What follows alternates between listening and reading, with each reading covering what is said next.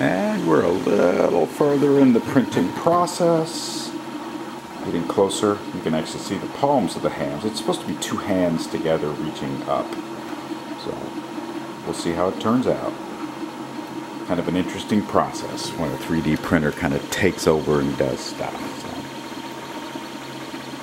if you think about it, the coolest part of the 3D printer is the fact that it actually is converting machine information from the computer that I generated and then generating this and you can see there on the top you can see the lattice work that is built so that it has the structure to support the weight and the plastic forms and becomes solid.